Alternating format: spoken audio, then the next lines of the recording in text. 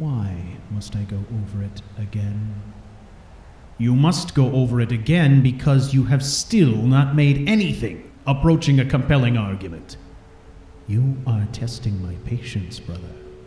We have been speaking in circles for hours now. Then convince me. Explain to me again what could possibly be more important to our future than freedom. Because, my brother, what you call freedom is nothing more than a selfish pursuit of your own whims. There is nothing of importance or consequence in it. The will of Sithis is my only pledge. Sithis and his aims alone. Your sense of personal freedom is frivolous at best.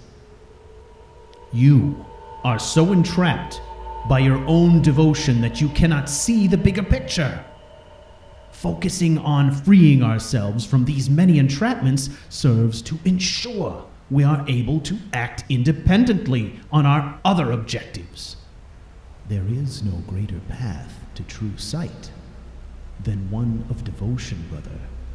You would do well to hold your tongue. you, you make my case for me, fool. There is a reason it is called blind devotion, brother. You are so wrapped up in your worship of the void that you cannot see the real threats beating down our door. Sithis will provide. Sithis will reveal the path.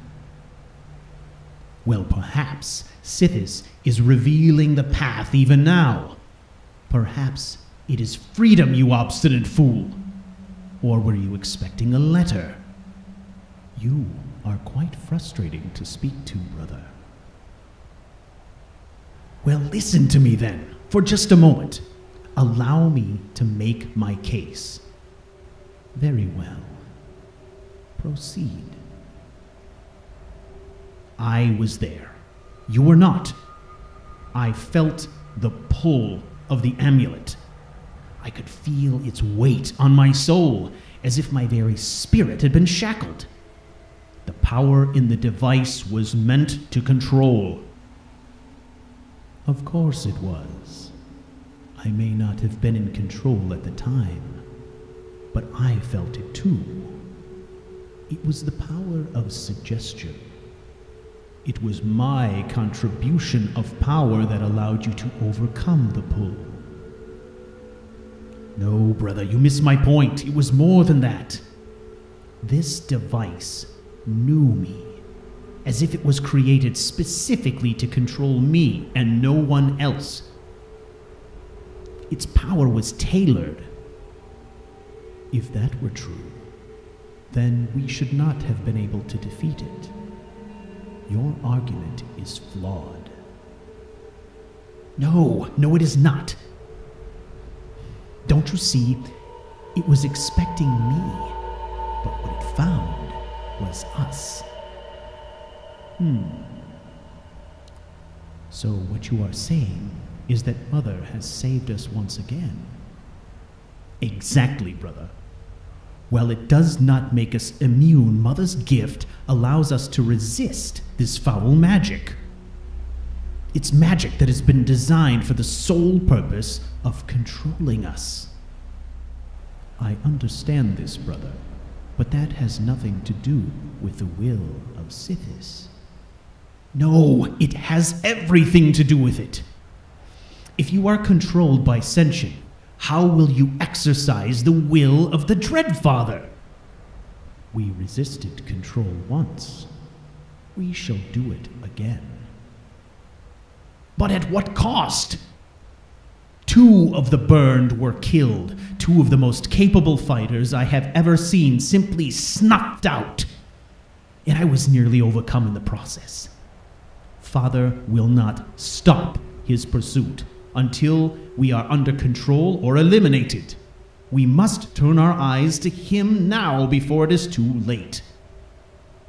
I cannot be defeated.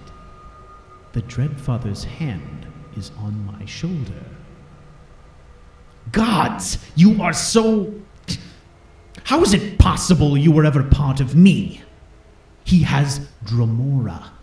Obviously, he's made a pact with something beyond our plane. How long do you really think it will take him to come up with a better, more powerful solution to find us? You said yourself that you feel the loss of control over the Dark Brotherhood. Well, you're the damn listener. If you're not in control, who is? Whose power eclipses that of the God's damned listener? I cannot explain this. I do not have enough information. What I am saying to you is that we need to focus all of our efforts on assuring our independence from Senshin at all costs. If his plan succeeds, we will both find ourselves lapdogs to that sick bastard, and there's no end to our suffering. Everything I cherish, everything you have ever earned, will be for nothing.